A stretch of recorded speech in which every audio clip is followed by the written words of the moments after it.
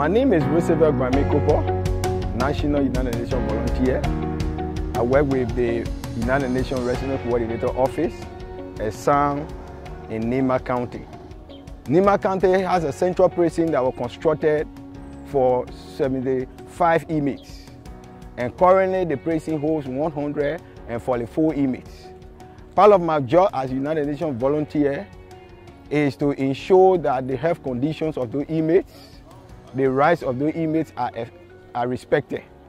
So I follow up on the conditions of the inmates, those who are pretrial detainees. I support the precinct authority to ensure that those prior detainees cases are adjudicated and those cases that are of less magnitude, their parents come and bail them out. Volunteerism is rewarding. I'm so passionate and I encourage more young people to volunteer for the betterment of their communities.